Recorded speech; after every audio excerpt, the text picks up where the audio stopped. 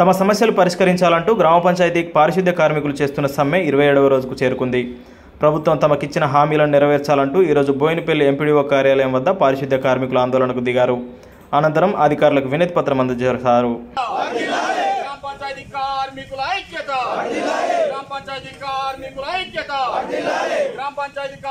కనీస వేతనం.